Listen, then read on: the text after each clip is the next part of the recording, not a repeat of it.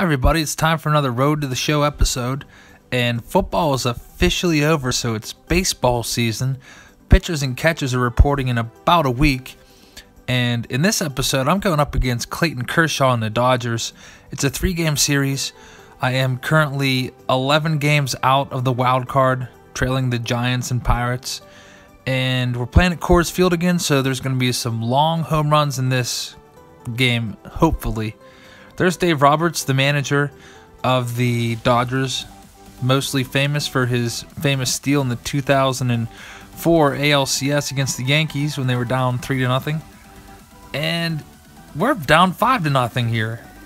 And I'm facing Clayton Kershaw, so if you give Clayton Kershaw a 5-0 lead after 2 innings, more than likely you're going to lose. But here it looks like I got him, so that one's Gonna break up the shutout. That one's way out of here. That might have gotten over the seats. 28 training points. I think that cleared the seats. There's a walkway out there behind the seats where people can stand and get concessions. And if it clears all the seats, you're looking at around 500 feet. I think my farthest one yet was 504. And there we go, 517. So a new career long. And it comes off of Clayton Kershaw, no less. So Here's the replay of the home run. That one was just crushed. See exactly where it lands out there. Yep, it hit that concourse out there. And here's Kershaw. You can see he's he knows it's gone. Well, the bad news is that I'm still trailing by a bunch. Seven to one. So I get to play a little defense here. The goal is to not make any errors and put my team even more in a at a disadvantage. That one's going to be catchable. I'm getting better and better at this first person view on defense. Haven't made too many errors recently. When I first started playing Road to the Show, especially in the minor leagues, I just was awful at this. I would probably make like two errors a game, then I'd. For a while there, the Pirates just had me at DH in the minors because I was so bad. I, they never even let me play the field. And there, Turner hits a dinger. So, what is it now? Like 8 to 1, 417 foot dinger. All right, eight to one, and I got another shot. So if the Rockies could just get some guys on base, I mean, I know it's tough to do it against Kershaw because his WHIP is like 0.9 something usually. And there's another home run, so I've got Kershaw's number today. That's way out of here. Up again on the concourse there. 452 feet. So that one was pulled more down the line. The more you go towards center out on that concourse, the farther it is. And there's the replay. It looks like it hit off of that brick building there, right by the concession stand. And now it's 10 to 2. So this is a, a typical Coors Field game. Really poor pitching by at least one of the teams. Even Kershaw is giving up some dingers here. Let's see if I can get him again. Got two guys on base here. Oh, I almost took his head off. Up the middle. That might get a run home. Yeah, that's going to be an RBI at least. So that's three runs off Kershaw. I mean, if we were playing at maybe Dodger Stadium, we might have a chance to win here, but Coors Field, it's just. The Dodgers, by the way, have a 657 winning percentage in this season of Road to the Show. They are the division leaders, and I think the Rockies are like 21 games behind them. And you can see why they're they're pounding us here. That's ripped in the gap, so that's gonna be a double. I don't think I have enough speed to stretch that into a triple. I mean, I could try, but I probably would have been. You know what? I, I don't know. They threw to third base, so I think I would have been out. So good decision to kind of hold up there at second base. And there's a nice little close up of me. I really wish in real life the Rockies would get good because I'm so tired of just the Dodgers and Giants just battling it out every season for the division. You know the Padres aren't going to be there for a little while. You know that the, I mean, the Diamondbacks I thought were going to be okay last year, but they just kind of fell off the earth. The Rockies have the offense, they just need to get some pitching. Well, that's it for game one. They completely pounded us 11 to 4. And now, I mean, we got a new game here. Game number two. I could still take two out of three. There's still some hope. If I take two out of three, maybe I can make up some ground in the wild card. I mean, that's the goal. It's only like August, first week in August, so we play like 667 baseball the rest of the way. It's possible. Oh, I took a bad, bad route, but hey, I made up for it. That's an outfield assist.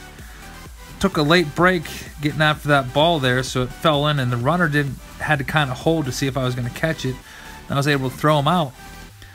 Well, anyway, it is my first step out of the game, and there's some ducks on the pond, first and third. Have a chance to get some RBIs. We got it. That's going to be three to nothing. That's way back and out of here, out towards the BBQ stand. I don't know what that probably is in real life. It's probably called like Bichette's Barbecue or something like that, after Dante Bichette, one of the great Rockies of the 90s. Well, we got the 3 0 lead here, and I get another at bat. That's kind of good that I'm not getting a ton of fielding opportunities out there and left. And this pitcher is working pretty slow. The pitch, and we take him out the other way. So that's going to be five to nothing out there into the bullpen. That would be kind of fun to try to retrieve a ball out of the bullpen. I, I usually use a lot of, of ball retrievers in batting practice. That would be a long range one. Those are the funnest ones, the ones that are real high up. That take a lot of precision to get it. Well, I got my third at bat right now. And I think I got it again. Three home runs this game. That one just stays fair. Right above that little, what is that? Kind of like a, a tunnel or something. They probably they probably put the uh, batting practice stuff out there. And it's 10 to nothing, a complete blowout. We could have used some of these runs last game when we lost 11 to 4. But that's the way it goes at Coors Field and I make the catch there. So not a whole lot of errors. I, I put a couple training points in there on my fielding and reaction time and everything to kind of help me out and not be such a complete bum out in left field. I'm trying for my fourth home run of the game here, and I got it. So four dingers. You know what I just thought of from watching all these replays? Because, I mean, I, I edit out the replays and stuff, but they always put MVP up on the scoreboard. I wonder if I've got a shot for the MVP award because coming into this game, I think I had like around 40 home runs. And I think the second best player was Joey Votto with 31. So I might end up hitting like 90 some home runs. And I think if you hit 90 home runs and break the single season home run record, you're going to get some consideration for the MVP award. I mean, it'll be interesting. I know a lot of people don't vote vote for MVPs of a like a last place team. But if the Rockies can get into contention here, it's it's possible. Well, this is game three. You saw the Dodgers have like a 70 and 37 record, so they are just killing it in this road to the show. And I'm just killing it. There's another home run. That is back there into that rock pile area out there in center field. So 467 feet. I bet a lot of you watched the Super Bowl today. Uh, overtime game.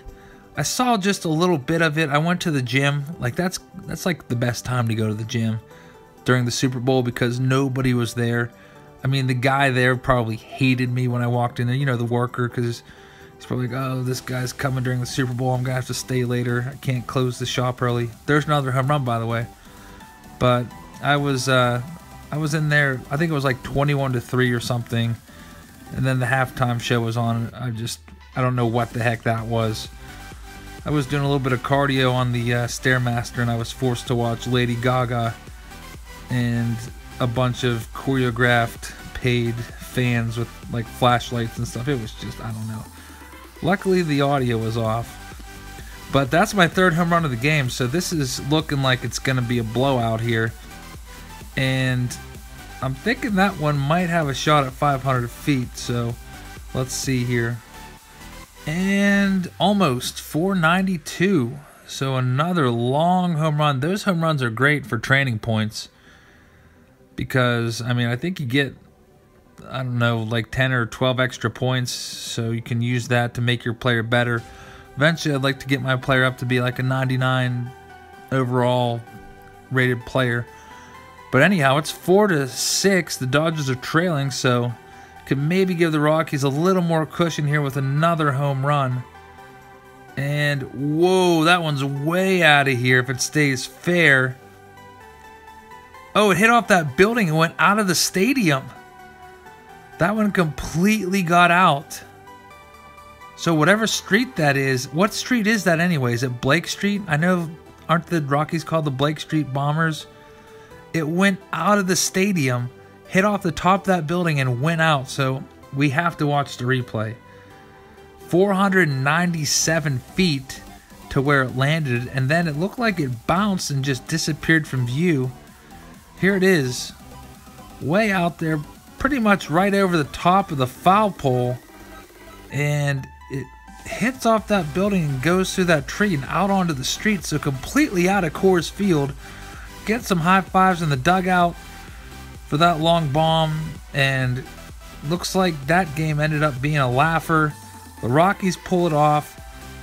They win two out of three, nine to four, and I'm gonna check the standings here. Hopefully, we made up a little ground. We started the series down 11 games, and now we're back 11 and a half because the Pirates won four in a row. So that would figure I'm facing the Pirates, the team that traded me away. Thanks for watching, everybody.